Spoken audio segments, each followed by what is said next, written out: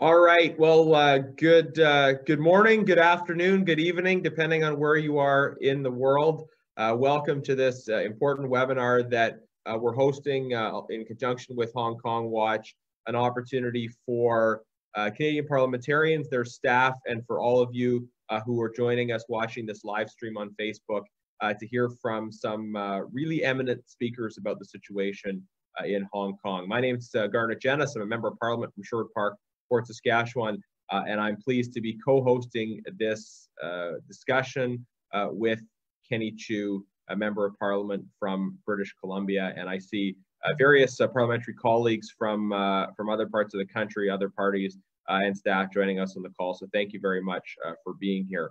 I won't go too much into the, the details of the situation in, in Hong Kong in this introduction because we have so many speakers who, who will be doing that. Um, but just by way of, of general introduction, I wanted to uh, uh, give my best wishes to all of you as, as we're dealing with uh, the, the challenge created by COVID-19 uh, and encourage you to remember that uh, around the world, we are seeing uh, escalating abuses of fundamental human rights where governments are trying to take advantage of the situation that exists. Uh, they are trying to take advantage of the fact that uh, many of us are are distracted and focused on uh, on other issues.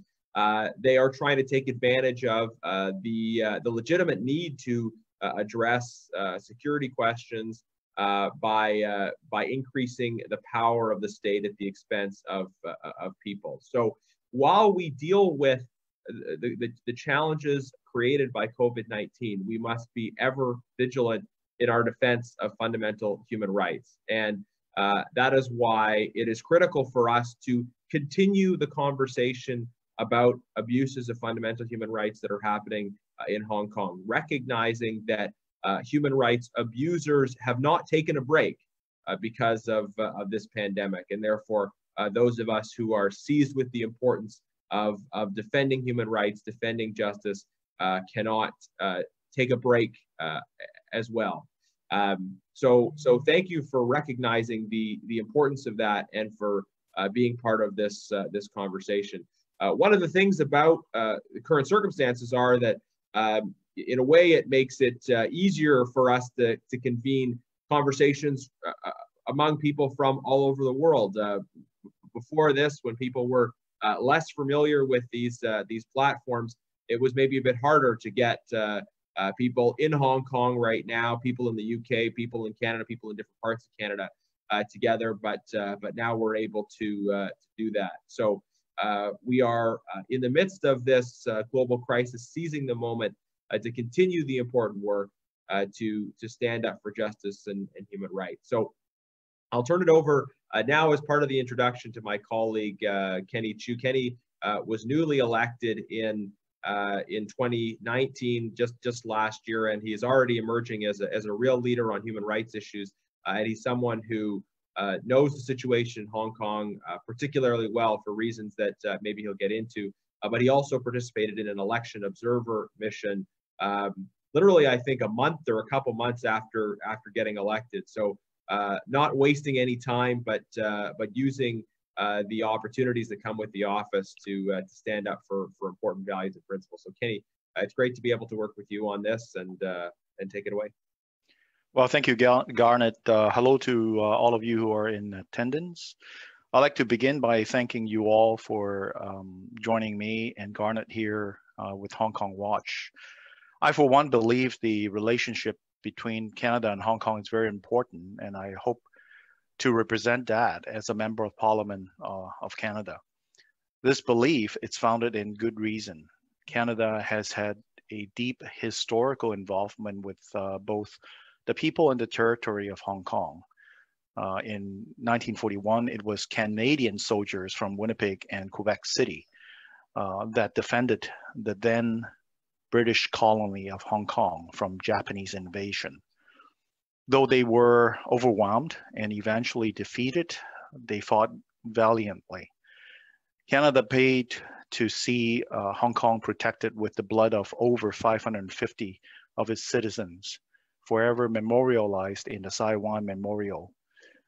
Before the return of Hong Kong to China, Canada sought and received assurance from both the government of People's Republic of China and the government of the United Kingdom that under the proposed one country, two systems framework, there would be no change for 50 years and that Hong Kong will have uh, a high level degree of autonomy.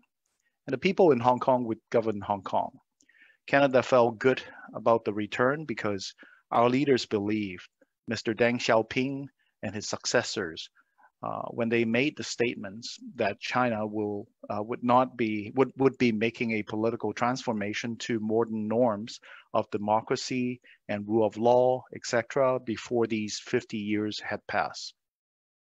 Ch Canada and Hong Kong share many values. Among these include uh, respect for rule of law, human rights, and individual freedoms. And, and what greater freedom is there than democratic political participation. Following the return, Hong Kong Basic Law was enacted as a guarantee of these. Under the one country, two system model, the ruling Chinese Communist Party, or in short, the CCP, it's supposed to honor the agreement of the Basic Law. The CCP was also supposed to honor the agreements made in the UN Co Covenant on Civil and Political Rights through rat ratification, a promise made to Canada for offering China much development, developmental aid. The CCP has failed in these respect, and that shows a lack of respect for Canada, for Hong Kong, and for Canadians and Hong Kong values. The knowledge of the appetite for power of the CCP and the destruction it, it brings drove people to leave Hong Kong and come to Canada and around the world, millions of them. Their instinct were proven right when watching the 1989 Tiananmen massacre and how we are seeing pro-democracy advocates are being treated. This instinct that this regime cannot be trusted has been proven correct again. Canada should continue its history of involvement with Hong Kong it is owed to the over 300,000 Canadians that live there and the generations of Hong Kongers adopted Canada as their home. It is owed to the memory of the Canadians who fought and died to protect that territory. And it is owed to the citizens of Hong Kong who have yearned for the keeping of promises to allow them to live their way of life in an open and free and democratic manner. This is why there will be time for action but for now, together, we must keep watch for Hong Kong. Thank you. Back to you, Garnett. Well, thank you uh, so much, Kenny. And uh, we're, we're so blessed to have you uh, in our parliament, in our caucus, uh, with the, uh, the passion as well as the wealth of knowledge and experience uh, that you bring. I'm pleased now to be able to introduce our first speaker. Uh, before I do that, I'll just remind everyone that uh, in addition to having this webinar, this, this event is streaming on Facebook. Uh, so those who are with us, feel free to, to share it on Facebook from, uh, from, from my page uh, if you see it. And if you're watching it on Facebook, please like and share it so that more people can see uh, this important conversation as it happens. our first speaker, Martin Lee, the great Martin Lee, is someone who needs, needs no introduction to, I'm sure most of those who are familiar with the topic. Uh, but uh, but for those who are less uh, familiar, uh, Martin Lee is is uh, known as the father of democracy in Hong Kong. Uh, he's one of the most prominent advocates for democracy and human rights, with a with a very long history of taking strong and principled positions around these issues. He was the founding chairman of the Democratic Party in Hong Kong, and he has been for for a long time a member of the Legislative Council there, specifically from 1985 to 1997 and from 1998 to 2008. Uh, he was one of 15 people arrested in April 2020 uh, in, in this uh, horrifying uh, effort to, to arrest and, and intimidate uh, some of Hong Kong's uh, most prominent champions for freedom, human rights, and democracy. Uh, Mr. Lee, thank you so much for joining us. Uh, you're, you're a hero to so many uh, on this call and who are watching, so appreciate the opportunity to hear some words directly from you. thank you very much for hosting this webinar. Um, I will take it up from Kenny. The one country, two systems was what was described as China's basic policies regarding Hong Kong. It was the brainchild of Deng Xiaoping, at least we attribute that to him. And uh, his one country, two systems um, were described by him as Hong Kong people ruling Hong Kong with a high degree of autonomy, namely, apart from defense and foreign affairs, which are properly reserved to the central government under the Sino-British Joint Declaration, and therefore our mini constitution, the basic law, we, the Hong Kong people, were promised to have to be masters of our own house in terms of the executive, legislative, and judicial power. Now, about five years ago, in June 2014, six years now, the central government published a white paper in seven languages claiming that the central government, that is the Communist Party, has comprehensive jurisdiction over Hong Kong. Now that phrase should be more properly translated as having complete administrative power over Hong Kong. Now just imagine if the Communist Party has complete administrative power over Hong Kong, what degree of autonomy do we have? None. That's the extent to which they have now rewritten the one country, two systems. And that everything you've been seeing recently, and more will come very soon, is but the implementation of that policy.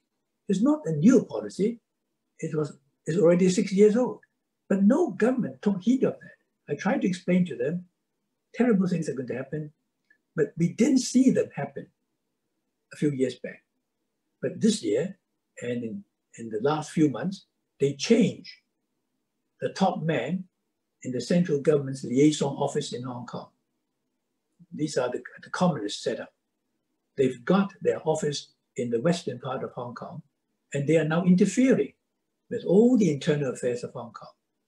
They claim that they are, they are above the law, above the laws of Hong Kong, and above the basic law. They were supposed not to interfere with Hong Kong's internal affairs as provided by Article 22 of the Basic Law, but they say no, that doesn't apply to them. And th that took even the Hong Kong government completely by surprise, because all these years, we all understood that they were governed by the Basic Law, which is our mini constitution. But now we learned for the first time that this is not so. Now, the whole idea of one country, two systems was implemented in a very simple manner. So after 1997, the Chinese constitution will continue to govern China. But now it has become mainland China because there is now Hong Kong added to it as a special administrative region, together with the Macau special administrative region. And Hong Kong was governed and is governed by the Hong Kong Basic Law, which I helped to draft. And Macau is governed by the Macau Basic Law while the rest of China, mainland, is governed by the Chinese constitution. But now they say the Chinese constitution can trump the Hong Kong Basic Law. That means everything is now at large. All those promises are now to be rewritten. They will give Hong Kong people as many freedoms and as high an extent of freedom as they please every given day. So if today they say, okay, I'll give you more freedom, fine. Tomorrow they can take a lot of that back. This is not, this cannot work. And that is why without democracy, they keep on postponing it. And with the continued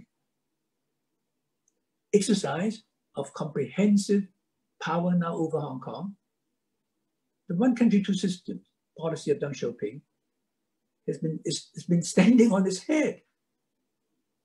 I hope my overseas friends to understand the extent of this intrusion into Hong Kong by the Chinese Communist Party. It cannot be trusted, I'm afraid. Thank you.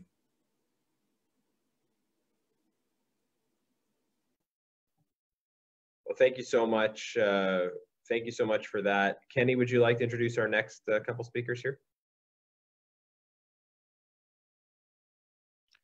Sure, Garnett. Uh, took me a while to uh, switch back.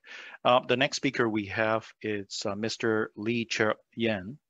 Uh, Lee Cheuk Yan, he was a part of, uh, member of the Legislative Council of Hong Kong from 1995 to 2016.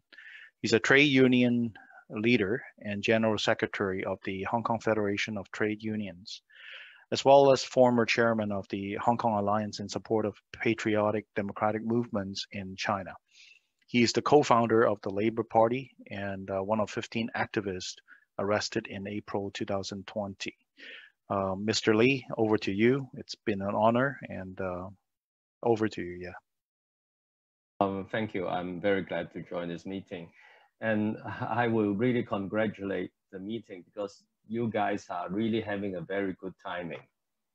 Because as uh, Martin had mentioned, the intrusion of China into Hong Kong is now being demonstrated now at this moment in Beijing. What is happening now? Actually, you know, I'm receiving a lot of phone call from uh, local press because everyone is asking us for reaction to what is happening in Beijing. What is happening now is suddenly today, actually tonight, they announced that uh, the intention of the National People Congress meeting in Beijing to introduce what they call a Hong Kong version of national security law into Hong Kong.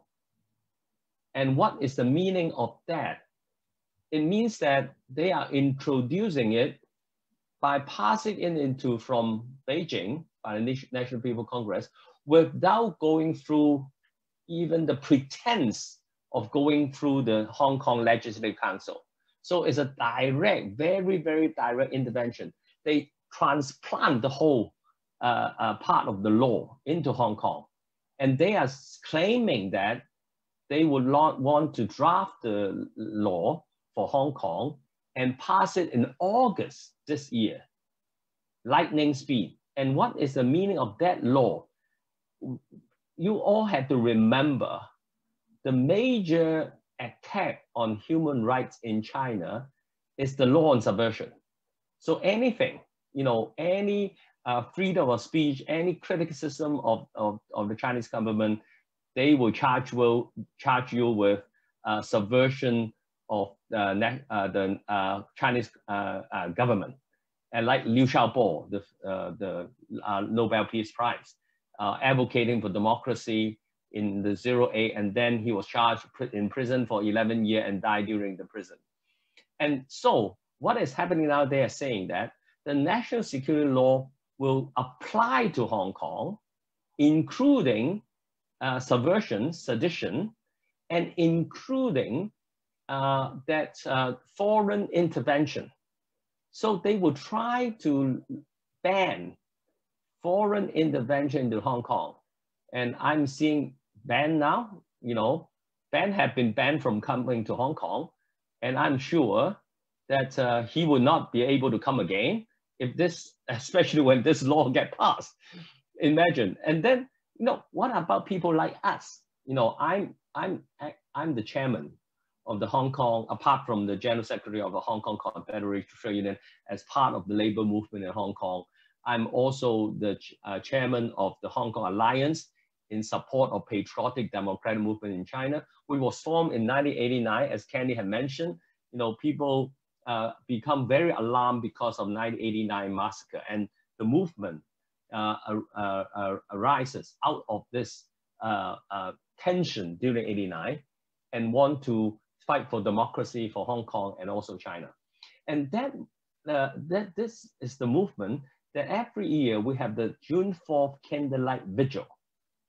And I will try to explain what is happening now today, because the attack is so many, many facet, many prone attack on our uh, civil liberty.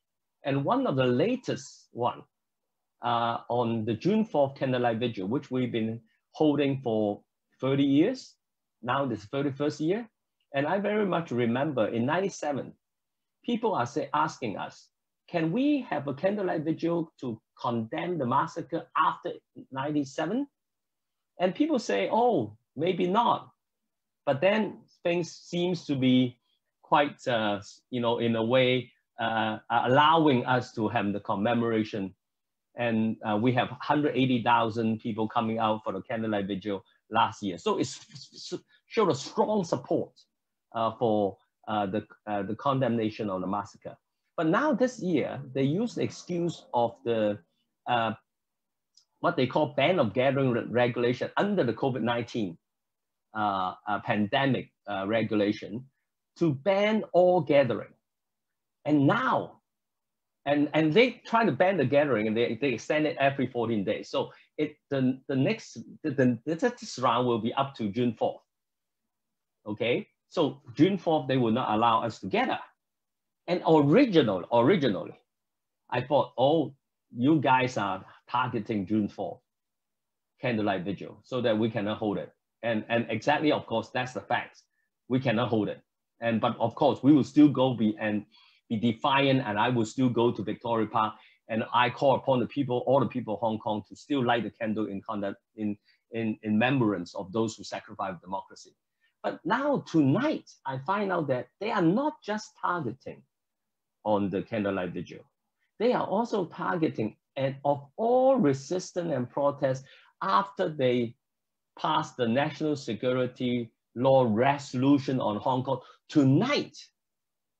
So actually they have everything planned out to try to suppress any opposition by using the excuse of the pandemic against the civil liberty in Hong Kong. But that is really total absurd because in Hong Kong, I think the situation is very different from other places we people are very careful about wearing masks and so social distancing. And now, you know, actually the, the government announced that schools are opening and everything's sort of back to usual. Uh, religious gathering is still is now allowed, but they don't allow us for political gathering. And that's the situation now in Hong Kong. And so it's really worrying further down because all pretense in the past they have a mask of pretense. Oh, they are respecting one country, system. Now they are all, you know, ripping out the, the, the pretense, the mask of uh, that they are respecting one country, two system. And now what they are doing, arresting Martin Lee and, and us, you know, and actually one 8,400 people have been arrested, 1,300 something people have been prosecuted, and they are seeking jail sentence for young people police violence still going on. I can go on and on.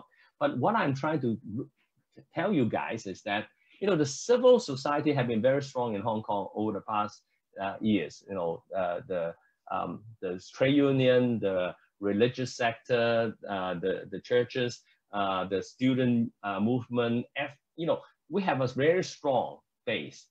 And we have been resisting the Communist Party interfering in Hong Kong for many and fighting for that democracy. We have this base. They are now trying to destroy our base by attacking every sector of the society. And it really is very much of a total many-pronged attack over civil, liberty and the civil society that I think, you know, is really very alarming now. And uh, we really hope that the world stand with us because they are challenging the world. Every, as Kenny mentioned, that you know, Canadian government witnessed the uh, uh, the joint declaration, and everyone think that oh, you guys, uh, uh Hong Kong uh, can have a good protection, but no. What happened now is that you know the whole thing, the pretense have been off, and so we need really the support. Uh, thank you. Well, thank you, Mr. Lee. Um, Garnett, over to you to introduce the next speaker. Uh, okay, uh, sure. Um, just uh, hang on one sec here. Bear with me. Um, all right, well, thank you uh, for a, another excellent uh, presentation. I'm pleased to now be able to introduce Avery Ng, uh, a Hong Kong politician and social activist. He is the chairman of the League of Social Democrats a pro-democracy social democratic party in Hong Kong. He's led massive protests along with the Civil Human Rights Front, uh, and he was also one of uh, the 15 activists that was uh, that was arrested in April 2020. Three of the leaders of his party were among those who were arrested. Uh, so thank you very much, uh, Avery, for joining us and look forward to your presentation. Uh, thank you for having me. Um, well, what can I say? The situation in Hong Kong is extremely dire. And I think uh, my colleagues can attest that whatever we are experiencing over the past six months, um, the deterioration of the rule of law, um, the encroachment of uh, the our fundamental human rights, as well as the breakdown of the, uh, the trust between uh, the people and the government. Whatever happened over the past six months was so rapid and, and, and the scale is so huge that this uh, it, it, has never seen before ever since the handover. Um, now, I, I, I, want to add on top of what uh, Yan and Martin Lee was saying that um, maybe over the past, past decade or so, um, the rule of law in Hong Kong has been slowly breaking down uh, without, not, no, without uh, much notice uh, in, in, the, in, the, in the way that, uh, let's say, we still have a rule of law and independent court for, for you know, civil cases and for commercial uh, businesses. Uh, we still have the rule of law for your you know, petty crimes and your, you know, the real crimes uh, and killers and rapists. However, if there's uh, any incidences or cases that's remotely relating to politics or remotely relating to uh, vested interest uh, with strong tie with CCP, then that's where the uh, rule of law breaks down. Um, because uh, the rule of law is as good as the law. Um, and the law in Hong Kong now uh, is up to interpretation by the CCP uh, more often than not. Um, so, uh, and the way that the, the government and the CCP has been playing uh, is that uh, they have been experimenting with various criminal law or colonial laws to try to um, put pressure to politicians or dissidents uh, to send us to jail, to disqualify our elected members, and people like, well, like like myself, like the more radical wing of the uh, Democratic country, with you know like real clashes with police. Um, but what makes the, our current uh, 15 leaders uh, case so significant is the fact that I mean, come on, they are arresting Martin Lee, the, the grandfather of the, uh, democracy who never broke a single law uh, over the past many decades. Uh, CCP has decided to make such a high profile arrest uh, at a time where the whole world is dealing with the pandemic. Now that is a strong message sending from CCP to the world in saying that they are not afraid of anyone, whether you are a young kid or whether you are Martin Lee, who's got a established international standing, they are going to do what they want. Now, imagine if that's what they, they are doing now in the midst of uh, pandemic. Well, try to imagine after the pandemic subside, the crackdown will be even more severe. And what they are now doing is not only targeting the more radical uh, people, but they are interested by you know, normal citizens. They are not even allowing a candlelight ritual uh, in, in the Victoria Park. Uh, and, and from the looks of it, uh, with the CCP's tactic, uh, well, basically they are employing the tactic of uh, they, may, they may as well uh, attack us all at once. Um, so that's why we hear that tonight. probably we are going to hear the announcement from the NPC uh, in terms of that uh, new introduction of, of my personal expectation as well, that they can, they are, they are, uh, the CCP is pushing the button so soon and so hard to the point where if somehow the national security law uh, pass over the next few months, uh, you know, by means of their own interpret interpretation, this, this webinar would be a, a strong enough evidence for them to arrest all of us and send us to jail, even with their trial. Um, and and it will, and that's why it's um, especially important, I think, at this juncture that the international community uh, can really, well, really need to sit down and formulate a coherent international policy, uh, international policy and strategies in dealing with uh, CCP, uh, in forcing their hand or somehow uh, force them to stop the human right violation. And it's just not just Hong Kong, but also in Xinjiang and uh, and, uh, and and Tibet and various parts uh, of China. Um, but uh, what what I want to add is that uh, I understand it will be extremely difficult. Um, for one, the uh, locally on the ground is is now getting harder and harder for us to mobilize people. Not that because people are not willing to mobilize, uh, but because of the fact that even they step out of their home and go to a shopping mall to join a random small uh, chanting, uh, they would face uh, arrest, uh, if not uh, imprisonment. And, and, and so the, the, the risk of voicing out in Hong Kong locally is getting greater and greater. And secondly, CCP has been very cleverly employing their capital investment and their soft power uh, overseas. Uh, and, uh, and well, uh, in, in Canada, for example, that um, they, they, they've got a very strong support base in their local Chinese community, uh, and as well as the, the vested uh, investment interests abroad, that it will makes it a bit tough for foreign government uh, you know, when you have to consider your constituencies and and you know uh, and play the hand uh, with CCP. Uh, however, I I have to uh, warn uh, you know all, all of us that um,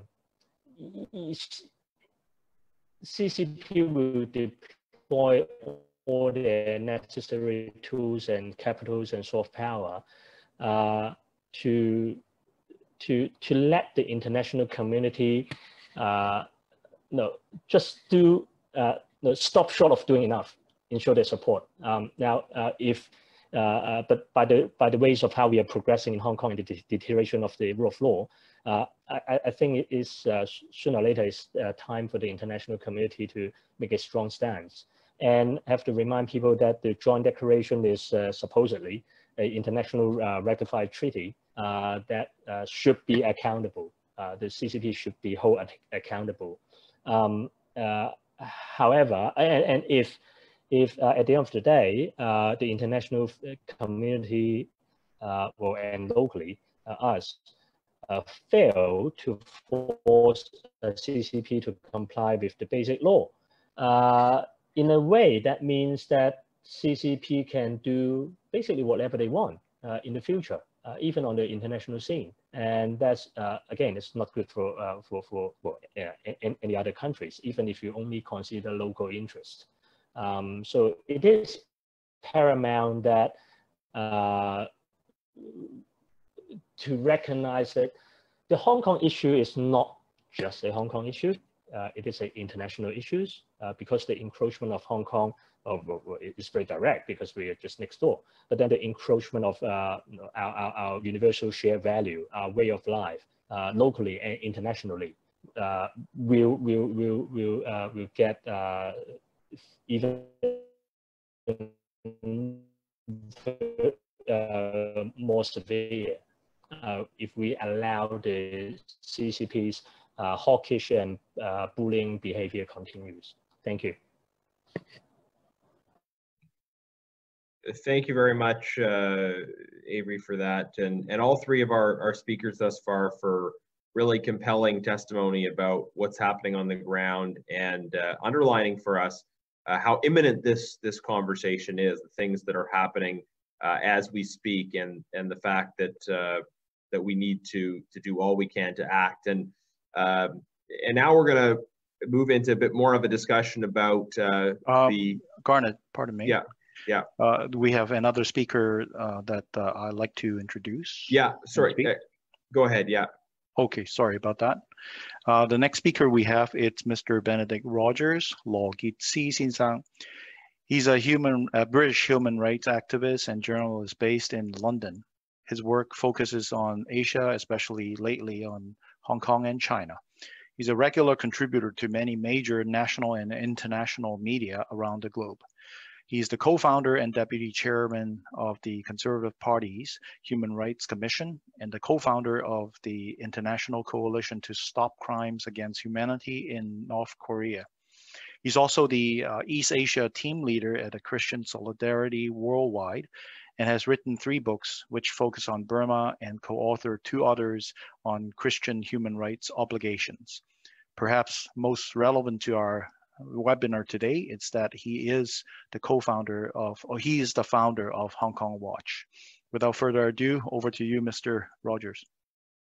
Well, thank you very much indeed. Uh, and can I say, first of all, what a, a great honor and privilege it is to follow uh, our three extremely distinguished and courageous uh, speakers from Hong Kong, three people I'm uh, privileged to, to know personally uh, uh, to, to varying degrees and to, to count as friends and heroes of mine who are really holding, fighting for the freedom, I believe, not only of their own city, but actually holding trying to hold the front line of freedom uh, for the rest of us as well. And their arrest uh, just over a month ago, and as we've heard already, uh, the uh, uh, almost certain introduction of Article 23 uh, at the NPC in Beijing tonight um, is turning the screw, uh, signs that Beijing is turning the screws on Hong Kong at a, an extremely alarming rate. And really the only two things I think that can uh, have a chance of, of uh, holding, uh, holding this off and uh, preventing uh, the total demise of one country, two systems in Hong Kong are firstly the courage of the people of Hong Kong, but also the efforts of the international community, which are needed now more urgently and more robustly than ever. Uh, it's also a great privilege to, to speak at this event hosted by Garnett Genuis and Kenny Chiu, and I want to pay tribute to you for everything that you do uh, for Hong Kong and other human rights uh, issues. Uh, and I should say that every time I speak on Hong Kong, I either, if it's appropriate, I either carry a yellow umbrella as a symbol of my respect for the movement in Hong Kong. Uh, clearly on a sunny day in London when I'm inside, I can't really hold a yellow umbrella. So instead I wear a yellow tie. And uh, that's my, my act of solidarity uh, with you. It, it, may seem a little strange for uh, a Brit sitting in London to be talking to an audience largely uh, in Canada about what, what Canada should be doing. But I think, as has already been highlighted, there are clear, close relationships between our three uh, homelands, uh, between Canada, the United Kingdom and Hong Kong, relationships based on, on some of our history together, but also on our shared values uh, of democracy, freedom and human rights. Uh, we uh, in Hong Kong Watch recently published a report uh, called Why Hong Kong uh, Matters. Uh, and I'm going to share some slides that, uh, that go with this.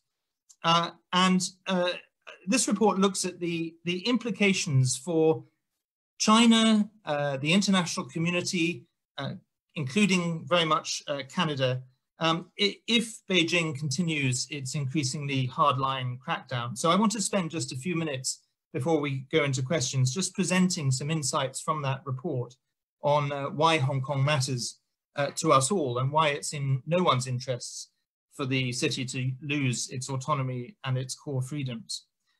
It's already been pointed out uh, that the ties between Hong Kong and Canada uh, run deep. Uh, you don't need me to remind you that uh, there are currently, I believe, about 400,000 Hong Kong Canadians, 200 Canadian companies in Hong Kong, another half a million Hong Kong immigrants and their descendants uh, living in Canada.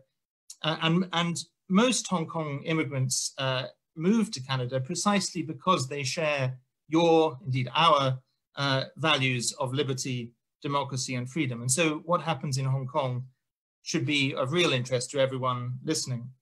If we go to the second slide, rather than focus now on those cultural ties, uh, our report uh, considers the ongoing significance of Hong Kong uh, as a major international financial center.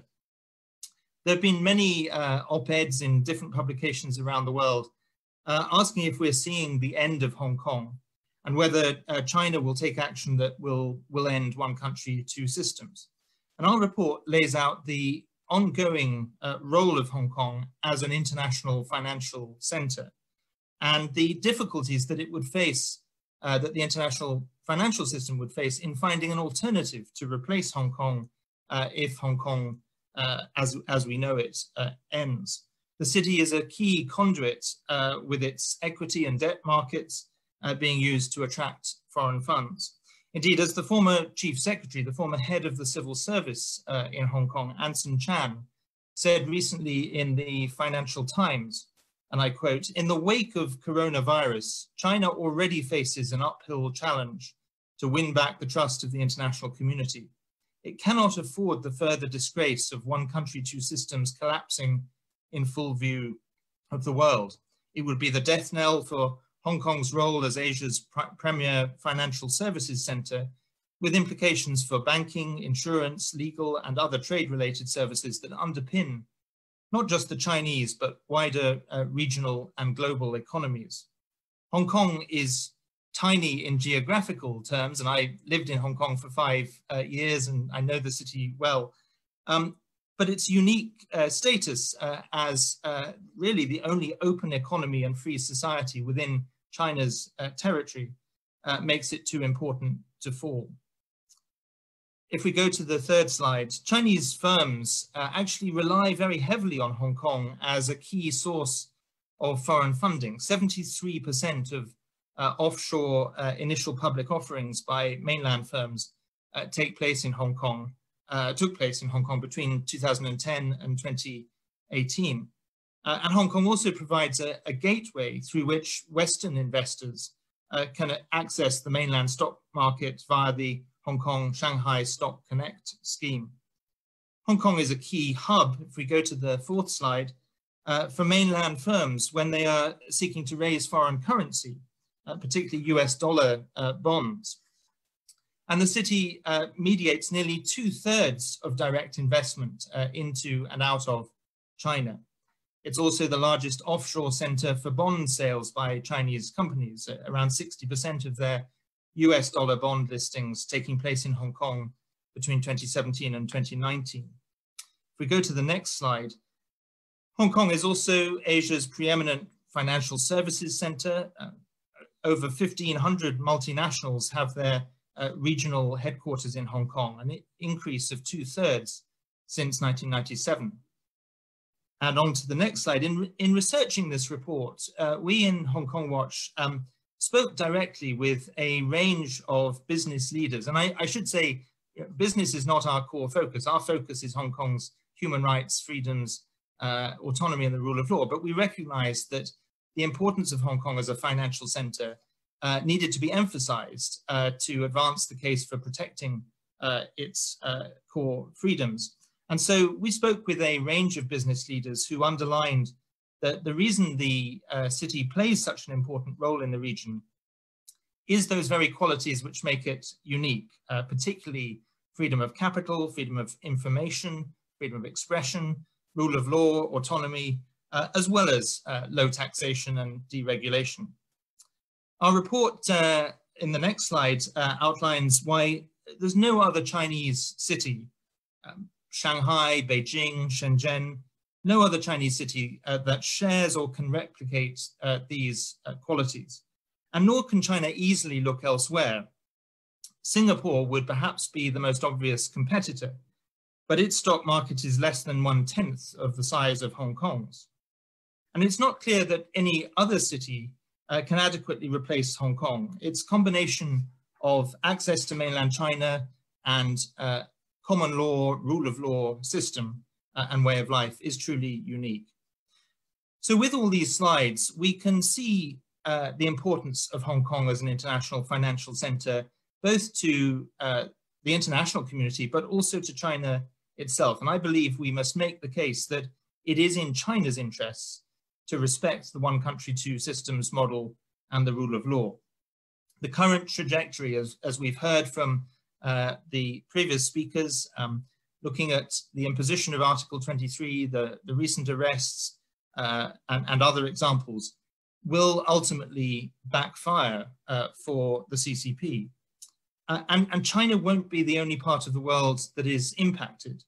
Uh, with over 900,000 uh, Hong Kong Canadians uh, living in Hong Kong and Canada, um, Canada has uh, an important stake in this game, of course, as does my own country, the United Kingdom. We have a special responsibility to Hong Kong through the Sino-British Joint Declaration, but, but Canada, as a key ally, um, has an important role and a direct interest uh, in standing up for uh, China, uh, standing up to China and defending Hong Kong's freedoms and human rights. Uh, it's often pointed out that uh, China is Canada's second largest uh, trading partner. And the argument is made that Canada can't afford to upset China. But if we go to the next slide, let's look at the numbers. Canada's exports to China amount, correct me if I'm wrong, Canadians, please, because I wouldn't want as a Brit to be telling you things that are uh, that you know or that are wrong. But if I'm correct, uh, your export, exports amount to just 3.9% uh, in 2019. So Canada, and the same point is made about the United Kingdom, we don't rely uh, on China.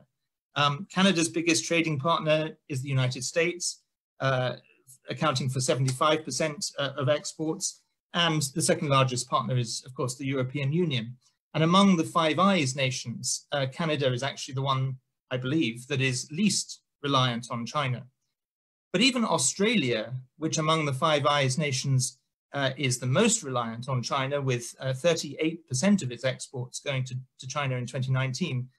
Australia is stepping up, uh, as we all know, is, is leading the international effort demanding an international, international independent investigation into the causes of the pandemic, uh, along with 120 other countries. So in view of all of this, and in view of the close ties between Canada, the United Kingdom, and Hong Kong, uh, I believe uh, Canada uh, uh, can take the following actions to defend Hong Kong's freedoms. And I conclude with these recommendations. Um, firstly, I would uh, be delighted if um, the Canada-China Relations Committee that I know you're a key part of um, could schedule a, hearing in, in Parliament when it's possible to do so uh, on Hong Kong. This kind of webinar is extremely welcome um, but if you were to have a formal uh, hearing, that would be very positive. Um, we would encourage you to, uh, to consider uh, accepting, uh, when it's necessary, uh, asylum seekers uh, from Hong Kong. according to the Globe and, and, and Mail, there are over 40 Hong Kong asylum seekers already in Canada. And if things deteriorate, more Hong Kongers will feel in vulnerable situations and our countries, the United Kingdom and Canada, I think have a responsibility to help. Uh, and finally, I know that you have a Magnitsky uh, Act. Uh, we, we have one in the UK as well, although it's in the process of, of completing its uh, secondary legislation. Um, uh, uh, and so I would encourage you to use Magnitsky legislation to sanction officials in the central government and the Hong Kong government who are responsible for either directly or, or, or complicitly uh, violations of human rights uh, in Hong Kong. In addition to all the reasons that I've set out here, that, that Hong Kong matters as an international financial center, I just uh, finally repeat uh, the, the message about Hong Kong's importance as a symbol of uh, openness uh, in Asia, where until recently, even though it hasn't had a fully democratic political system, Hong Kong has had freedom of expression, a free press, and basic human rights. Those values were promised to Hong Kong before the handover. They're guaranteed under the Sino-British Joint Declaration, which has already been emphasized is an international treaty lodged at the United Nations. And if the Chinese Communist Party continues to break its promises uh, to Hong Kong and trample all over Hong Kong's freedoms, it is both an assault on uh, the freedom of uh, Hong Kong, but it's also an assault on uh, freedom for all of us and an attack uh, on the international rules-based system. And so I assure you that I'm passionately pushing my own government and parliament to live up to its promises under the Sino-British Joint Declaration, but I believe it is a responsibility for all of us who care about these values and Canada has a vital role to play. So thank you so much for giving me this opportunity to, to say that. Well, thank you uh, so much, Ben, for that excellent presentation. Uh, ben and I have, have known each other for quite a few years, and he's been a great resource for me on uh, on so many different issues. So, uh, Ben, we we Canadians don't have any problem taking advice, at least from certain Brits who uh, who are are very knowledgeable about topics like this. So, um, appreciate that. And some of the points you're making about policy are ones that I I already saw showing up in some of the comments on the live stream. People asking about the issue of asylum as well as Magnitsky. So uh, I'm, I'm, sure that'll be something we could get into in the discussion. So, uh, folks, we we have this discussion scheduled to go for about another 35 minutes, and uh, so we're going to move right now into questions and discussion, especially from uh, folks that are on this uh, this Zoom call here. Uh, we've got parliamentarians, we've got parliamentary staff, and some members of the media as well. Uh, so please use the raise hand function. And if you're watching live uh, on uh, on Facebook and you have a question that you'd like to, to come up, uh, please post a comment on the live stream and I'll uh, do my best to, to share some of those questions as well. I suspect we'll get some familiar themes in both places. So just go ahead and use the, uh, the hand raise function and I will work through those, those comments and those questions as we go. Uh, for our for our first uh, intervention, uh, though, I I want to bring in Joey Siu, who is a who is a student activist in Hong Kong and someone who who can share some more perspective about what's happening on the ground. Uh, she's been to Canada to meet with uh, parliamentarians here. We had an opportunity to meet while she was uh, in Canada. I, I, think we did a Hong Kong Watch briefing at which you you spoke, Joey, if I remember right. Yeah, okay. So would appreciate, uh, especially those that had a chance to hear from you before, an update in terms of what's what's been happening lately from uh, from your perspective, and then we'll go right into questions and comments from uh, from everybody else. So please, again, the hand raise function, and we'll we'll go to that right after uh, Joey. Yeah, so thank you very much for having me. So a lot has been going on in Hong Kong during the past few weeks, including the the the several statements from the liaison office of China and Hong Kong threatening that they would be disqualifying pro-democracy lawmakers in the Legislative Council, and also including the reintroduction of the national anthem law, which will be passed on the 27th of May, and also for tonight about the national security law and about the implementation of it in Hong Kong. So it is actually, the situation in Hong Kong is, as you might all think, that it's deteriorating in a very, very unpredicted and also in a very, very fast pace, which is very worrying not to not only to Hong Kongers, but also to the other countries in the international community where the very unique status of, of Hong Kong is being threatened and Hong Kong might not be might not might no longer be acting as a very special international financial center anymore after the implementation of the national security law. And up until yesterday, there were 8,600 of us arrested, over 1,000 of us prosecuted, and among them, there are 600 of us being charged with rioting, where the minimum imprisonment could be up, up to six to seven years, which is a very, very heavy punishment. And with the implementation of the national security law, we can actually foresee a lot more arrests in Hong Kong happening. So that is also why we had been trying to lobby the different kinds of like politicians and also foreign governments to grant and to work on granting the asylum status to different to different like political refugees from Hong Kong to Canada and also to the other countries.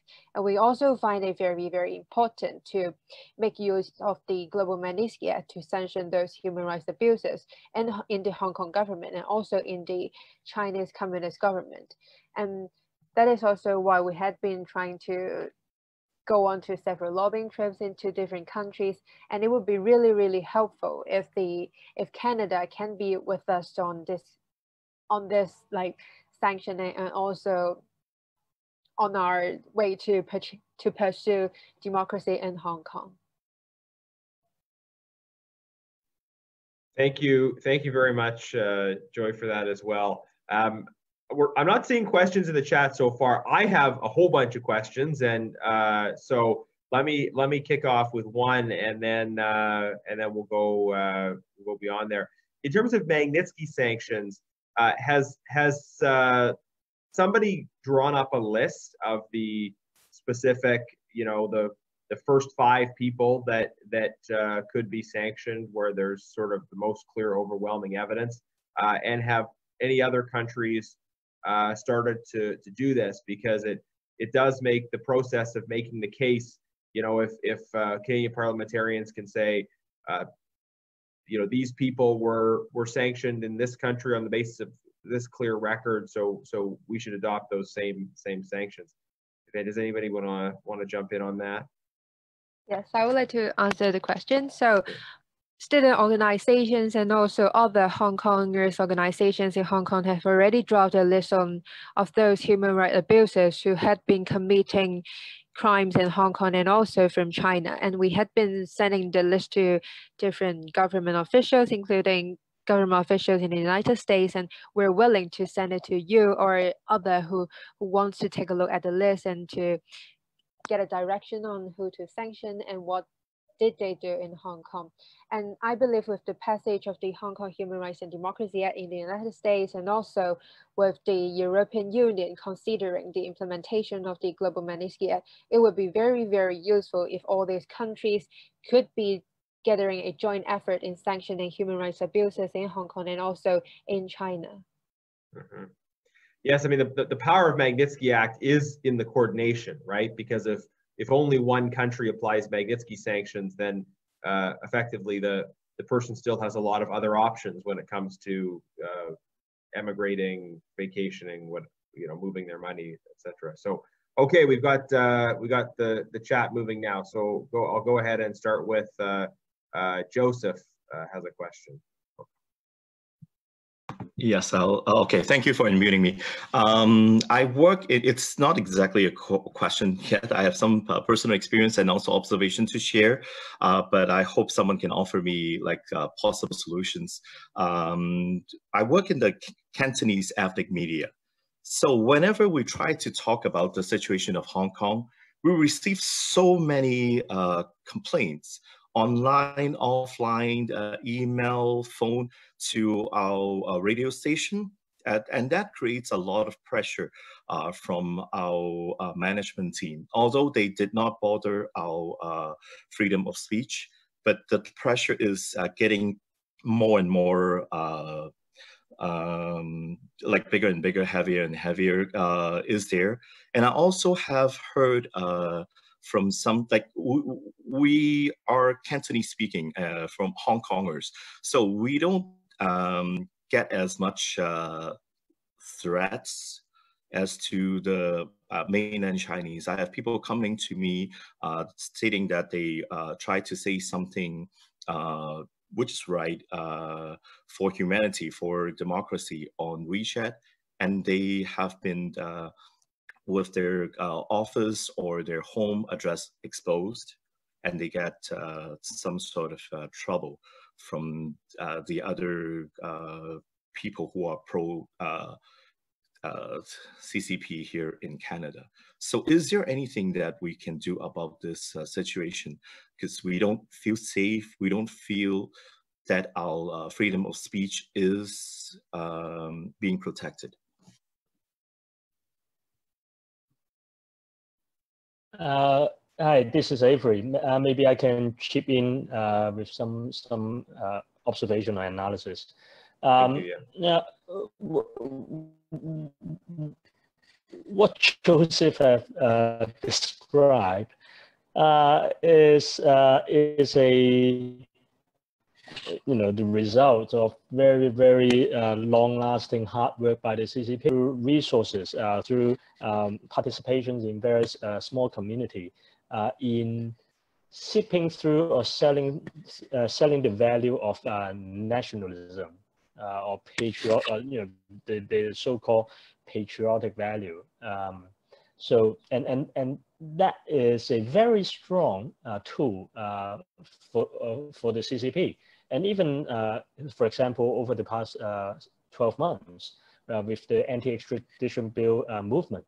CCP has been very craftily employing the nationalist, nationalistic rhetoric in consolidating their support uh, within the mainland China, and then in, in an effect to alienate any uh, dissident voice to a simplistic view of uh, sedition or, or, a separatist movement or whatever they, they want to frame it. Um, and, our, and, and, and the key message is they have successfully equate CCP, uh, well, CCP, the party, equate to the Chinese people and vice versa as well. And, and you know, is there a solution for Joseph? Not really. Uh, and, and the problem is uh, with the coronavirus pandemic uh, and the rising xenophobia uh, overseas, you know, people are also, even on the extreme right, is buying the same rhetoric as the Chinese people equals CCP. And that is exactly what C the CCP wants. Um, so it's something that we, even on the international uh, international uh, political scene, we have to tackle uh, to separate the, the actual regime, who doesn't really have any mandate uh, at all, from the actual people. And I, I understand that it, it is going to be extremely hard. I mean, even locally in Hong Kong, that even till today, 40% of Hong Kong citizens, at least on the in the voting booth, are still in support of uh, you know uh, uh, Hong Kong government or the Beijing government, uh, and many of their uh, many of them their thinking is really boils down to that uh, nationalistic pride or the, the fake nationalistic pride. Um, so so you know that's we don't have a solution, but there's something that we have to be strongly aware of when we uh, are dealing with China. And um, and yeah, that's it. Thank you, Avery. I'll, I'll just add, Joseph, because I think I think a big part of your question was about what we in Canada as, as legislators can do about these issues, and, and maybe some of the other parliamentarians want to chime in on this. Um, I mean, I, I think Avery's right on point that uh, extremists on both sides want to uh, want to say that that China is the CCP and that the Chinese people are the CCP. They, they try and connect two things which in fact need to be decoupled, and that's true of the CCP rhetoric as well as the rhetoric from um, extremists, xenophobes on the other side who want to blame all all Chinese people. And, and I think uh, rhetorically that that decoupling is really important, which is which is why I try to be very intentional about talking about my own uh, deep admiration for Chinese history, Chinese culture, um, uh, while also criticizing uh, a, a, a, political system which I think betrays that history and that and that culture. Uh, Joseph, I think I think we need to do more in Canada to to protect uh, cultural minority communities in particular from the impacts of, of foreign influence operations because we we know that that whether it's the Chinese government or or other governments that that often it's uh, recent immigrants and and minority communities that that can uh, face the brunt of, uh, of of often coordinated abuses when you try and and raise issues and uh, it's critically important that we take whatever steps are necessary to ensure that uh, that everybody is free in Canada. Uh, and I don't I don't have all of the answers but I think this is something that our Canada China Relations Committee as, as well as other committees need to study. Uh, and uh, there are there are probably a lot of little steps we can take around this, whether it's uh, uh ensuring that um, uh, you know in, ensuring that that acts of intimidation are, are are dealt with, that diplomats who are involved in acts of intimidation or or inappropriate political organizing are expelled. Um, you know we we can we can deal with each of the individual cases through effective enforcement. Uh, and um, you know, and the government certainly, and I, have said this this publicly, you know, when when there's there's coordinated intimidation or efforts to suppress free speech by diplomats, uh, those diplomats always need to be expelled right away. So some some of those kinds of steps we could take to protect freedom. Kenny, did you want to weigh in on that? And then uh, I've got yeah. Uh, we've got a, yeah, Garnett. Uh, just yeah. just want to add to uh, to what you and Avery uh, have said, and in response to Joseph, uh, comment. I think right now in the Chinese community, I sense the a, a high sense of insecurity uh, among our Canadian um, citizens of Chinese descent. Um, there has been quite a few um, racist and borderline on hatred um, incidents that actually happen across Canada. Uh, even even in Montreal, for example, Native Indians have been misidentified as Chinese, has been has been uh, mistreated or even uh, beat, beaten up in Vancouver as well. And so uh, the community is actually uh, quite concerned. And that probably is one of the reasons why they, they want to um, uh, stay away from criticizing uh, China, and they figure that because they they are identified as Chinese, and criticizing China may actually cost them even more trouble uh, for themselves. And to respond to this uh, insecurity, I, I think that that is exactly why um, we parliamentarians and as a democratic country, uh, we need to stand with them uh, for those who've been um, mistreated, who's been uh, discriminated against. Uh, by all these actions, we we need to stand with them and you know present a very strong um, opposition line that this is not acceptable in Canada. Um, but at the same time, from the same mouth, we, we need to criticize where it matters. Um, if it is the CCP government, it is the CCP government. Um, Joseph, I think, uh, you know, for um, community community leaders such as yourself and um, you know parliamentarian like like myself uh, and others we could definitely um, help educate the um, communities in Canada that uh, we are Canadians. Uh, we have to stand strong.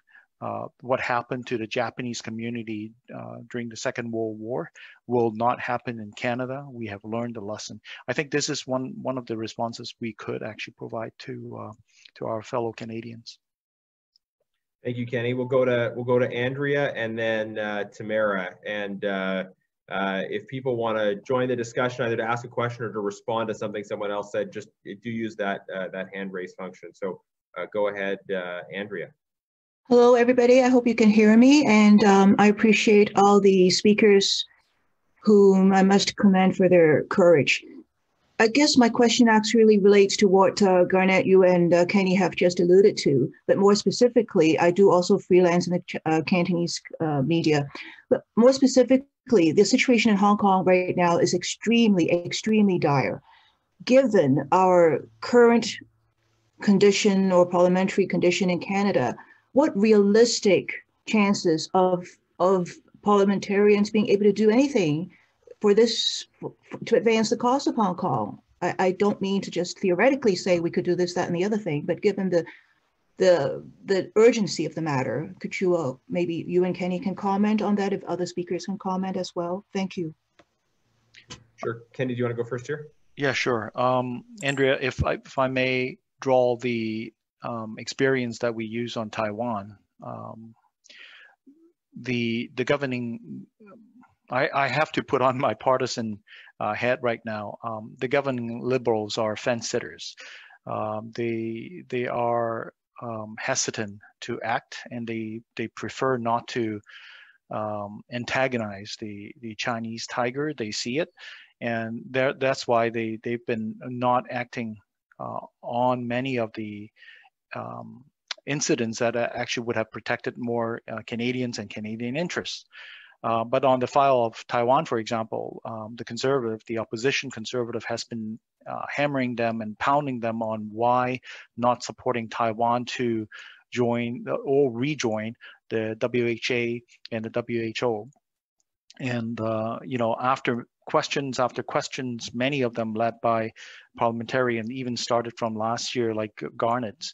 Um, you know, finally, we we see that they they are changing their their uh, approach, and they have announced that they will be supporting Taiwan to rejoin the uh, WHO. That to me serves as um, as um, insight to what we could do. Um, we must not let down the political pressure on the government. Um, it, it, you know, Hong Kong is at a cri critical juncture right now, and uh, we must continue to, uh, through you know, personal level, individual level, uh, applying pressures, but also on organizations such as Hong Kong Watch, as well as parliamentarian uh, representing the people of Canadians, uh, such as Garnett and myself and many other colleagues here, uh, we must coordinate a, um, a joint attack, uh, keep up the pressure, uh, keep up the, uh, the demands, and I think that would actually have effect on the government. Thanks, Kenny. And, and, and just to add, you know, the, um, the, well, the challenge we're facing right now is we're having a debate about whether and in what form Parliament should resume, because we have these extraordinary sessions that are happening uh, digitally uh, and one a week in person.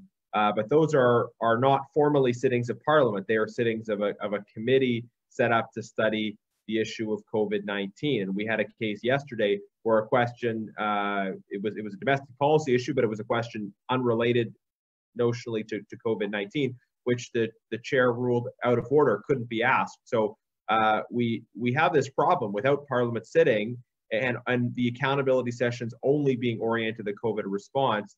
Uh, frankly, we don't have the tools that we normally have as parliamentarians to drive these issues.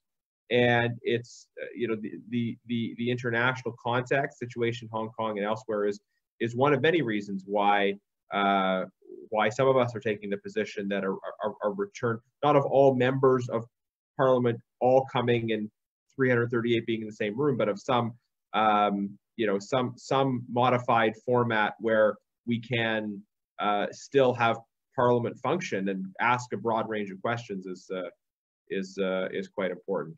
Uh, Tamara, go ahead. Oh, sorry, sorry. I, I see a few people waving, uh, um, but um, yeah, okay. Uh, let, let me let me go to Tamara first, and then we'll bring in uh, Ben and and Lee uh, after that. So go ahead, Tamara. Okay, well, thank you very much um, for for putting this all on like this. Um, I, I wanted to begin by saying uh, you have my my deepest uh, regard that you are you as speakers are willing to put yourselves out there on this issue um, at personal risk. It, it is amazing to see you being willing to do this on behalf of others. It's it's truly uh, uh heartwarming. Um, I, I have to say, I think we as Canadians have the challenge in that we we've been lulled into this concept that uh, China has become democratic because of all the work that we've been able to do with uh, different Chinese companies. Our, our own company, uh, previous to me being a, a, member of parliament, was doing business with China, and it and it it appears like uh, they're democratic.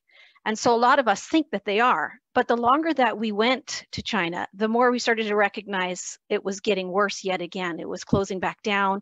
Um, uh, rules were, were really being uh, pushed that hadn't been when we first started back, uh, oh man, in the 90s, I guess. So I think that's a challenge. We are going to have to um, help Canadians understand that China has changed uh, or I shouldn't say changed. It, it it it looked like it changed, but it really hadn't. And so it's important that we talk about China as a communist regime. Uh, like you say, it's not the people; it's it's the China Chinese uh, government, which is a communist regime which continues to um, hold back individual uh, um, uh, freedoms.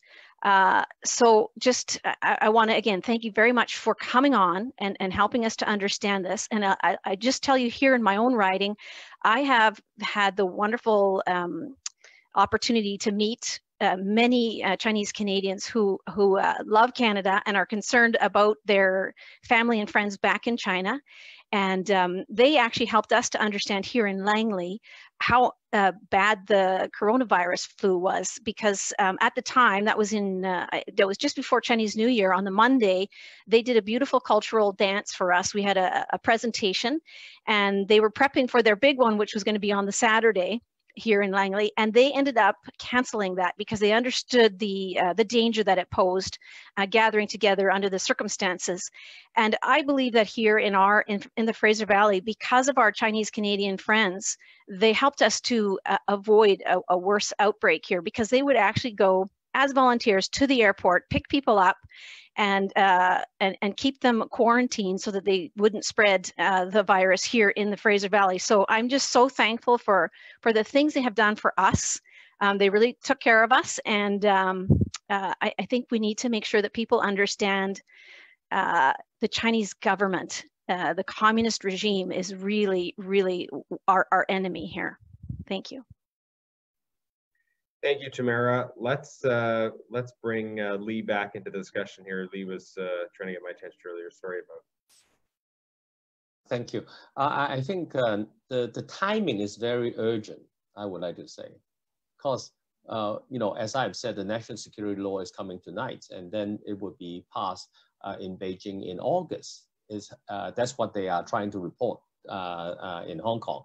So we have a time frame problem so I think as uh, Kenny had mentioned that uh, is the government on board on this? I mean, the Canadian government, is the Liberal Party on board? If they are not on board and if the government are not speaking out, I hope more government have to speak out at this very, very urgent time.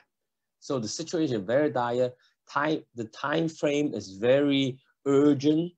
And I appeal that, you know, we have to act in this few weeks or hopefully one week time of all the government in the world, uh, even if there's possibility of UN, uh, United Nations uh, uh, mechanism to really stand with Hong Kong uh, on our very the threat of you know taking away our freedom and democracy, our freedom and civil liberty through the national security law, and it's imposing Hong Kong, implanting the national security on, on Hong Kong. And secondly, I, I, I want to make the point that actually that's where where's the where's the dirty trick of the Communist Party is that when the world is having the pandemic problem, you know, uh, and distracted to that, they do all this dirty work in Hong Kong. And of course, I think there's another point I want to make is that sometimes we also have to be concerned about what happening inside China, especially those who reported on COVID-19 inside China, the whistleblower, uh, the, there are a few of the uh, what we call um, uh, you know journalists, civil journalists, or, or uh, that are trying to report what is happening in Wuhan. They have disappeared. They are they and to and we are really very urgently appealing also for the release. So I think we have also to go back into what happening inside China with this COVID-19 when the exposure of the, the virus to the world it's also because of what happened inside China and what is a human rights issue inside China. Also, when uh, those who try to report on it and try to be uh, spreading words about warning of it was being arrested and and uh, and detained. So I think this is also another front apart from our Hong Kong front that I hope the, the world should also be concerned of what is happening inside since they are you know trying to play the dirty trick during a pandemic and what are they, how they are treating their own people uh, who exposed on pandemic is also a very much of a violation, uh, breach, violation of human rights. Thank you. Thank you very much. And uh, uh, we'll go to, to Ben and then Martin, and then I'll take the question from Lewis after that. Thank you very much. My apologies for using the old fashioned way. I couldn't find the raise hand button, so I just did it myself. But um, I just wanted to pick up very quickly on two uh, points. The, the, first is the point that was made earlier about the need to coordinate. I think it was in reference to Magnitsky sanctions, but I think it applies more generally. Um, I have been advocating for some months uh, the idea of uh, establishing uh, an international contact group uh, of like-minded governments uh, concerned about Hong Kong, because one of the things I find is that the United Kingdom uh, has a particular responsibility uh, uh, under the Joint Declaration, but it always says, you know, we can't do this alone. When I talk to other governments, they say we're, we're willing to help, but where is the United Kingdom? They should be leading. And actually, if we had an international contact group where allies, um, traditional allies like Canada, the United Kingdom, European countries, United States, Australia, but also if we can find democratic allies in the region, Japan, Korea, uh, perhaps uh, some Southeast Asian nations as well, um, to, to really coordinate international efforts at this critical time. Uh, I think that would be a really good thing to do. Um, and I can say now, because he said this publicly for the first time yesterday, that the last governor of Hong Kong, Chris Patten, uh, strongly supports this idea. And he said so at an event at the Foreign Correspondents Club in Hong Kong yesterday. And there are further initiatives uh, afoot to press the British government to take a lead uh, on this. But if, if Canada was willing to support such an idea, uh, I think that would be very positive. And then just very briefly on the issue of um, the need to counter uh, xenophobia, I very strongly agree with what's been said about this. I, I love China. I, I first went to China when I was 18. Uh, I went many, many times until it was no longer possible to go because the CCP don't seem to like me very much. They don't like any of us very much. Um, and uh, but but I the point is I I love China and the people. Um, and I took part a few days ago in a podcast with uh, the think tank Civitas uh, in London with an academic called Andreas Fulda on this issue of uh, changing policy towards the CCP whilst countering xenophobia. And if that would be of interest to, to anybody and, and anybody who has the time to watch it, I'm happy to send a copy. It's on YouTube, but I'm happy to send a copy perhaps to Dale to make available to anyone who'd be interested in that because we kind of un unpick some of the themes in that uh, in more, more detail. Uh, thank you so much, uh, Ben. Uh, Martin, over to you.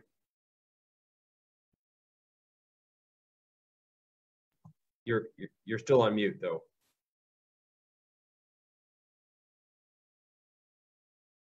Go ahead, yeah. Yeah. Okay. Am I Great. right? Yeah. Yeah. Now on the Magnitsky Acts, of course, the best thing is to have many, many more countries to introduce such acts and then act together in conjunction. But at the same time, you need a goal. I mean, well, how does it help, help Hong Kong if a number, a large number of our government servants uh, are then targeted, and even some in Beijing, for example. There must be a long objective, a, a, a goal in front of you. And that is exactly what Deng Xiaoping laid out for Hong Kong. That's why I always go back to that. Because once you insist that China honor her promises in the, before the world uh, community, now that's an important message to China. Now, don't you think you can get away with Hong Kong like this? Rewriting the joint declaration and standing Deng Xiaoping's one country, two systems on its head. No, we do not accept it in Hong Kong.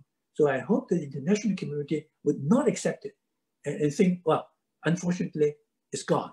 Don't, don't let them get away with it. Hold them to it. Thank you. Thank you very much. And I think this will uh, be the last question, uh, and then we can take uh, responses or wrap up uh, comments from presenters, and then uh, Kenny will will have some concluding remarks at the end. Um, and that may take us a, a little past our scheduled uh, end time, but we'll we'll try to end uh, close to it. Uh, for my part, thank you again to all those who participated. Uh, there have been a number of, of, members of Parliament. I saw uh, Heather McPherson here from the NDP. Thank you for joining us, as, joining us as well as Ziad Aboultaif, Tamara, uh, from uh, from our conservative caucus, and and there may have been others that I didn't see. I think Senator Green was on the call as well, uh, and there may be others who I didn't notice. So thank you, thank you to all the parliamentarians as well as everybody else for joining us. Uh, so for our for our final question or intervention, uh, over to you, uh, Lewis. Hello, Genuis. I'm Yasmin Ratansi. I was here too, listening to oh. you. Oh, great. I, I couldn't even raise my hand because it, I'm on a phone and I really okay. wanted to ask a question, but that's okay. We will discuss later. Thanks. You, you, you know what? No, uh, Yasmin, if you have a question, thank you for joining us and uh, go ahead and ask your question. I, uh, yeah, I, it just says iPhone, so I didn't know, but, but uh, um, yeah. maybe if you, you, you pose your question and then Lewis will pose her question, then we'll take responses together. Okay. And my question was, um, I know that somebody asked a similar question about Canada's role. And I please do not give me a political answer because governments, as you know, need to manage relationships. And we know that uh, China can take certain actions against Canada. So diplomatically, I need to know how we as Canadians can help Hong Kong because Hong Kong is very critical to the whole uh, relationship between Canada and China. So if somebody can give me some practical ideas as to how we collectively, civil society and parliamentarians can do it, I'd appreciate it. Thanks. Thank you so much, and, and thank you for uh, for joining us. Uh, Yasmin's uh, a member of the, the governing party and and uh, has has been a, a, parliamentarian for a very long time. Brings a, a wealth of experience. So thank you for being here and for your commitment to these issues. Um, sorry, sorry about uh, breaking the order there, Lewis, but uh, but go ahead. Uh, thank you. Can you, can everyone Yes, hear? yeah, we can hear you, yeah. Yeah, thank you for letting me speak. Uh, I just want to bring some news from the ground and local. Long story short, I am a political writer and reporter. What I like to offer is more like an additional discussion more than a question related to what we have discussed. Recently, the re situation has become more and more disturbing and worrying. At the same time, the idea of Hong Kong independence has been more and more popular, especially among young people and new generation. Similar example, but not exactly the same, the Quebec independence in Canada, theoretically, everything could and should be discussed. It should be legal to explore possibilities and ideas peacefully. However, there is no room for peaceful discussion for independence for Hong Kong here, referring to the national security law, plus advocator of that idea, like Hong Kong National Party, was quickly banned uh, and those individuals who support similar ideas has been constantly suppressed and having their political right to be elected disqualified. We believe basic human right is more important than any particular sovereignty, and the prime responsibility of sovereignty is a responsibility to protect its citizens' basic human right. If it is not the case here, so the sovereignty and the Chinese right to rule is very questionable, at least for many young generation. Uh, for those who uh, who was born after the handover. Um, after all, I personally think that the handover of Hong Kong is not unconditional. It comes with the responsibility to maintain the freedom and prosperity Hong Kong uh, has been enjoying for decades, with Chinese, which is Chinese government failed to do so. They are challenging Hong Kong as well as challenging the free world, referring to the experience of Joseph. This wish control is spreading to the free, free world like the virus. Actually, I don't know what will happen to the advocator of independence of Hong Kong after the pass of the national security law. So that is already a front line in Hong Kong to oppose to those uh, to suppression of human rights. But we uh, we hope to see the international front line also we reform as soon as possible. More and more moral and tactical courage are always welcome and need nowadays it is time for international community as a whole to work on an independence from the totalitarian system of China. So we like to see uh, a front line. So this is what I want to share. Thank you. Thank you, Louis, for for sharing your perspective.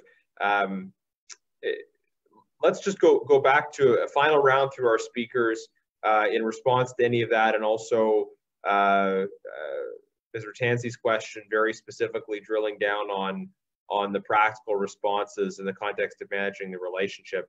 Uh, we've also had a similar question come in from uh, Clarice Pang of Citizen News asking about if and to what extent uh, Canada can use economic leverage uh, to, to, to, pressure China. So uh, drilling down a bit further on the uh, on the Canadian response. Um,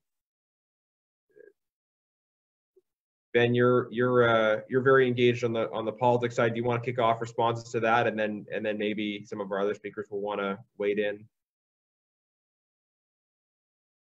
Sure, I'm I'm happy to. Although um, our, our friends from Hong Kong, I'm sure, will have uh, more to to add.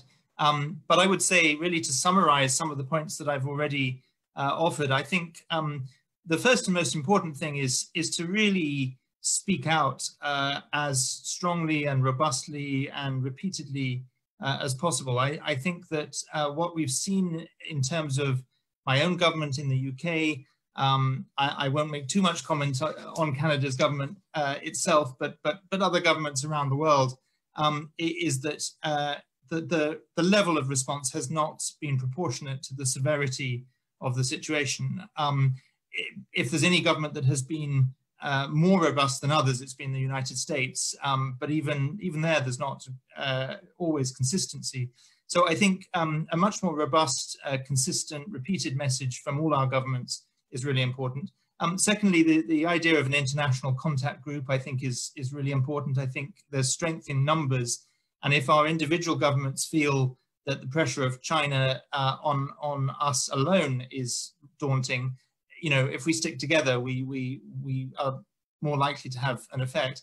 Thirdly, we've talked about Magnitsky sanctions. I very much agree with Martin Lee that um, there's only a purpose to Magnitsky sanctions if they are linked to a desired outcome. Uh, there's no point in having sanctions in perpetuity with with with no um, incentive to uh, to act. So so they should be linked to uh, the restoration of and the up, and the upholding of the promises made to the people of Hong Kong and the preservation of, of one country, two systems.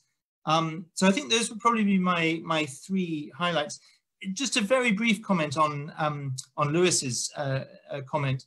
Um, it's not for me to tell Hong Kong people what they should or shouldn't uh, desire or, or, think, but all I would say is from an international advocacy perspective, uh, I know that uh, advocating independence for Hong Kong is not uh, a viable, realistic uh, um, advocacy message. I'm not saying Hong Kongers individually shouldn't think that, if that's what they feel in their hearts, and I can understand why they might feel it. But Hong Kong Watch, uh, our position is very strongly to support uh, one country, two systems, to support the promises made to the people of Hong Kong, uh, and, and we don't advocate independence. That said, we do support freedom of expression, and when um, the Hong Kong National Party were banned, we, uh, as did the British Foreign Office, spoke out against that. We made it clear we don't agree with them, we don't advocate Hong Kong independence, but we support their right to, to air peacefully such views. And so very briefly, somebody tweeted me at the time saying to me, somebody from Hong Kong saying to me, well, how would you feel if, uh, if advocates of Scottish independence uh, were allowed to stand for your parliament? And I replied saying they're the third largest party in our parliament. and uh, you have the same situation, or at least have had uh, with Quebec. Yeah. So, so I think there's an important message to get across that I personally don't advocate independence. I don't think it's helpful to the cause but it, I'm not going to uh, tell other people that they shouldn't think that, and it, they certainly shouldn't be criminalized uh, for doing so. Thank you. Thank you very much. And the, the point about collective action, it, strengthening our response, that if countries are able through mechanisms to act together, uh, and that makes them less vulnerable to uh, kind of uh, bilateral retaliation is, I think, uh, critical for us. Uh, Lee, you had a you had a point, I think, right? I got. The importance of an international uh, solidarity group. You know, everywhere, Europe, Canada, UK, uh, uh, you know, everywhere in the world, US, uh, Australia, everywhere there should be an international support group so that you know there can be a coordinated international effort uh, to uh, stand by Hong Kong. And, and uh, the situation now is very clear. Uh, one country, two system is no longer there. You know, it's almost like one country, one system when they introduced the National Security Act. And so the world can have a very clear uh, responsibility because you are all witness to the joint declaration and you have all the, uh, apart from responsibility, also have the, you know, in a way, the right, you know, as an international community to, to, to say to China that no, they are going, their, their intervention uh, in destroying one country system is breaking their promise uh, as a nation. So I think this, you know, uh, very clear common uh, stand uh, should be out as soon as uh, possible. And, and secondly, I think the, back to the question about leverage. Um, of course, you know, I think, and also um, very often there's a conflict between uh, values and money or values and profit. And so the, everyone had to make a stand. You know, I think China, of course, had a, its economic power. And it's, if, if the world is going to just sacrifice uh, uh, you know, human rights, sacrifice, liberty, uh, values uh, just for the profit, then, you know, this, this world is going to get worse. You know, I hope that we all can stand on firmly on the, on, on the issue of values. And, and of course, there may be short-term profit, but in the long run, I would say, you know, it is damaging to the whole world. If we just go after short-term profit and not long-term uh, uh, values that we all cherish uh, over the world. And so we, I think in this battle of values and money, I hope that people can be more on the uh, on the side of that values. Thank you. Thank you. Um, no, nobody reads 1984 by George Orwell and says, well, but what was their GDP? You know, did they have good economic growth? Uh, maybe it wasn't so bad, right? Yeah, exactly. Uh, uh, okay, thank you everyone uh, so much for for great conversation. I'll hand it over to Kenny uh, for some wrap up uh, remarks here before we adjourn. Sure, Garnett, thank you. Um, and I just want to take the opportunity to thank all our speakers for uh, joining this webinar today and uh, share your thoughts and concerns for Hong Kong. And I also want to thank uh, all the attendants in joining us, parliamentarian colleagues, and also staffers, and to understand um, and get a bigger picture of why Hong Kong matters in this time.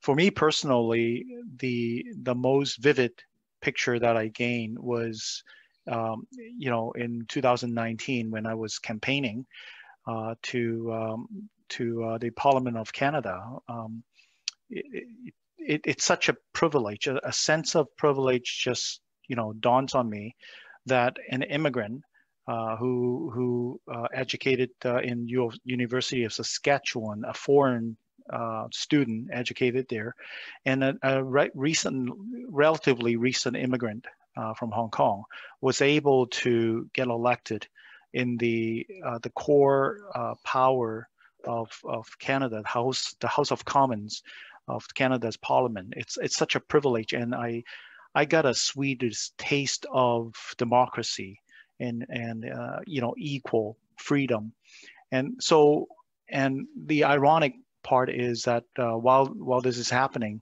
um, it, we were also watching on a nightly basis what happens the development in Hong Kong.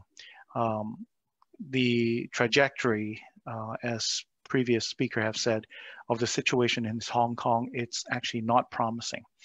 Um, the, the development here in, in Canada, also in our country, has not also been very positive. Um, there is a mix of um, feeling. A lot of uh, people of Chinese descent had a had a challenge in differentiating uh, the concept of race, nation, and the party, criticizing the Communist Party of China uh, Com Chinese Communist Party uh, would have been thought as as criticizing the nation or the race, and these are these are things that, as we discussed earlier, has to be sorted out uh, among us Canadians. But in in uh, in Hong Kong, we also learned that over 8,000 protesters have been arrested, and over 1,000 uh, have already been charged. But to date, uh, if, if my uh, research is up to date, uh, there have been zero um, police been charged for police brutality. And we have seen more than enough for that. Why Hong Kong matters to Canada? Um, there, are, there are several points that I guess I could summarize. And the first one is business and trade. Uh, Hong Kong is the third largest financial market in Asia and Canada's second largest destination for foreign investment. Canada has over $10 billion invested in Hong Kong, and Hong Kong has over 12 billion invested in Canada in just, just the financial matters itself. But as Lee Cheuk Yan has, has mentioned, money is not everything, uh, nor the most important value uh, we share with Hong Kong. Um, the future of China, for example, uh, it's also very close to our heart as Canadians. Uh, we we want to have a bright future for Chinese in China.